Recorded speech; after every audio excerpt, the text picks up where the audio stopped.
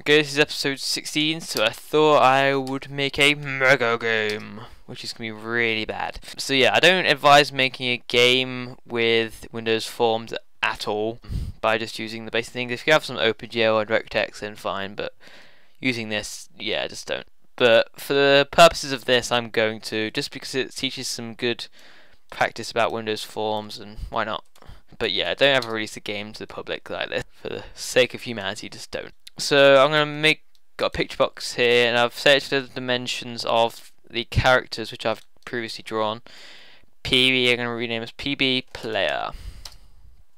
And a picture box of the player. So a game needs a game tick and to make a game tick I'm going to use a timer. And this probably isn't the best way of doing it but it works. So I'm just going to resize the form here just because it's annoying if it's yeah you have to keep going down. So I'm going to set the interval to 10. So that's how often it will tick. Now this is 10 milliseconds. So this is um, I think that's a hundredth of a second. I'm going to set enabled to true. That means it will start ticking when the form is launched. Now this is a picture box. We want to put the image in. Um, but because I'm having two images and it will toggle between them, I'm not going to local resource import. That's only if you really want it to stay constant and not change. To load in two images into the program, um, to be not the display but just load into the program, what you need to do is go on to find your project name, mine's called EP6, EP16, and go on to properties. Let's open this, you're going to go down to resources, and then here on the arrow, add existing file, then search for the thing. Uh, Okay, so I've got person here and person state 2. So person is going to be the default, and then I'm going to do it again, add resource person state 2. Okay, so just cross off that tab and save it if it's that's you. And now I'm going to go into image here, dot dot, and then you can see here person and person state. So if you want person, that's the default one that we're going to have. Because I've made a transparent background and save it as a PNG, you can see it's the same color as the form which is what you expect with transparency. So that's that's that, and the time is there. So I think that's good. I'm going to double click the timer. Will activate the timer event for it ticks. Uh, so form one events, and then um, key key down, and key up.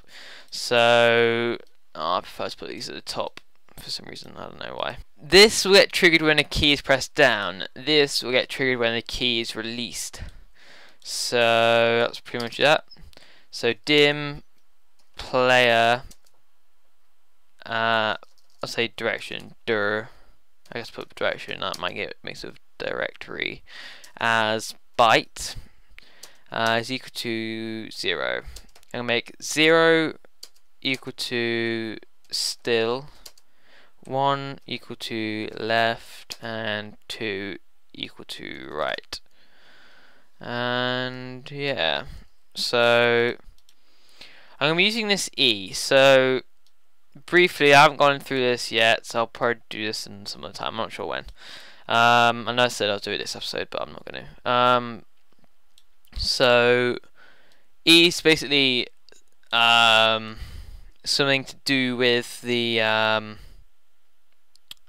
the event, you'll see. So if I do if e dot key code is equal to so e is the key. It has data with the key that was pressed to call this event uh, if that makes sense. So if key code is equal to uh, we'll say a do the whole WASD kind of configuration. Then I'll set direction uh, that like second is equal to 1 because that's what he said. A is on the left side of the WSD configuration and that's 1 for left. Uh, else if e dot key code is equal to keys dot d then direction is equal to 2 and that's fine. So what if the key goes up, that means you want to be still, right? So what you can say is if e.keycode is equal to keys um, a or e dot key code is equal to keys dot d then because either one of them we want to do the same thing. You make direction uh, is equal to zero. This is not perfect but it, it works. Um, so that should change the direction. That should all work. And yeah.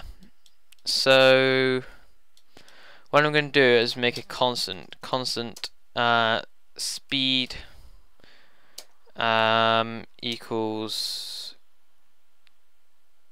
1 so 1 that's per tick. So that's the speed of the character per tick. So when the game ticks I want to say if direction is equal to 1 then oh yeah 1 then. Else if direction is equal to 2 then. So if direction equals to 1 then you want to say player pb player dot um, I think you want to do left. This means basically the the x the location of the x. Uh, I think you can do location I'm not sure if this is read only though. Uh, location.x we'll see is equal to we'll say plus um, minus equals speed. Because when I go to the left okay yeah um, this is read only um, so you do left and that allows you to write um, so that will set the left position and it will decrement it by speed every tick uh, similarly, if I just copy and paste this here and then change that to plus equals, and by the way, this means um, yeah, like that. And again, you just for the top one, you just swap that for a minus. It's just a quicker way of writing it. Um, so that should work, I guess. Okay, it works, yeah. So that works. It's a bit slow. This is why oh, I have to change here and here. No, we won't because we've used a constant, so we can only, change, we only need to change it in one place. So I set this to 3, then you should be a bit faster. That's 3 pixels per tick, which is uh, hundredth of a second. So he moves and that's all good. Um, so I'm going to say um, I'm going to put this in the same if statement because it's only ever going to have one key code. It's yeah, so you can put this all in one. If uh, e dot key code is equal to space, then want this to change it to um, I'm gonna do else if e dot key code is equal to space then. So this should change it into the guy with the arms up in the air and this should return it back to the normal state. So I can say picture box no player dot um, image is equal to my dot resources so this is accessing the resources like the player here and here. So access this folder dot and you can see the IntelliSense will give you the two things that are in resources. So I'm going to change to state 2 when space is pressed and then here I'm going to change it to just person when it's released. So let's try this. Like that and I can you can see tries to fly if you just spam space. So yeah that's pretty much it